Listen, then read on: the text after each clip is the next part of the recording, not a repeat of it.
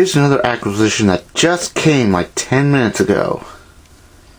And this is also my first Polar Cub fan. It's a 12 incher. You can't see it on the camera because, well, the lighting in here. Well, I'm in my bathroom slash slash workshop, so. But it kind of looks like an army green from like World War II or something. Though I can't prove it, so I'm not gonna divulge much into detail. Let's take a look at the bottom, where it was made by the AC Gilbert Company, New Haven, Connecticut, 110, 120 volts, 60 cycles only, catalog A, 26 watts 40, C patents attached, tested by something and code M1743. No way. It couldn't have been made sometime in 1943, but I, like I said, I could be wrong. But like I said, the only thing I've done so far to it was to flip the head around because, because if you notice, it was kind of like uh, facing the other way.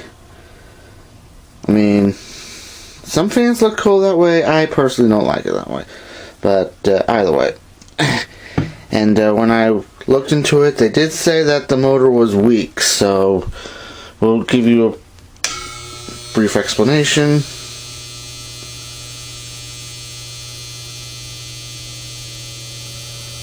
On the plus side, the oscillator works. okay.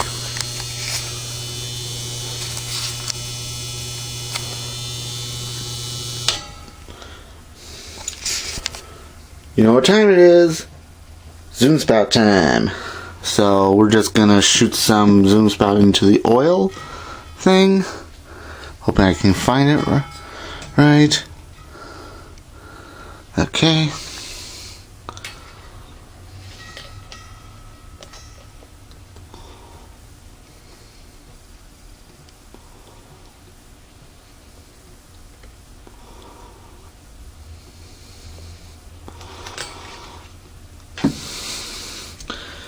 Turn that around. But I did disengage the oscillator, so because I didn't know if the thing worked or not. So we're just gonna.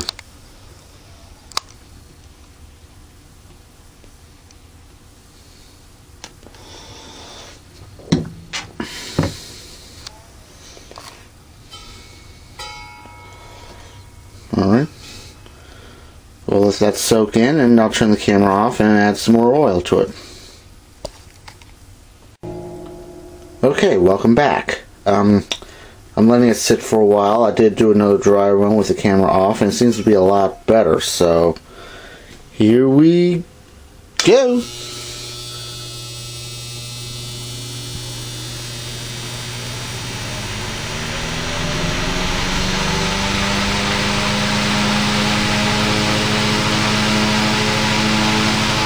Hell of a lot better.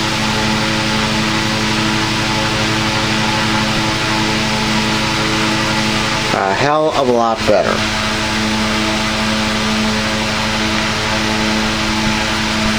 So I'm trying to figure out what that buzzing noise is for.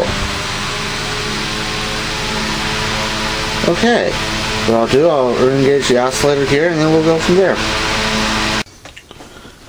Okay, I got the oscillator gear hooked up, so for the third time this episode, here we go!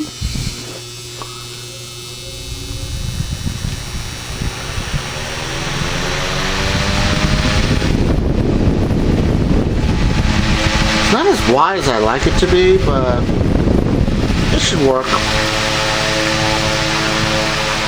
Still buzzing a little bit, but oh well. It's a lot, like I said, it's a lot better. It's a lot better.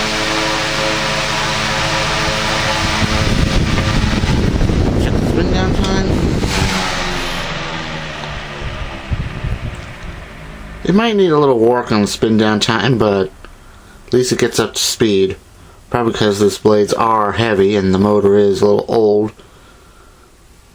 Though it won't, though it won't put it past me to think this is a World War II era fan, but Who knows? But on a side note, if I may do product placement, Zoom Spout, buy some. But until then, I'm Eskie. Thanks for watching.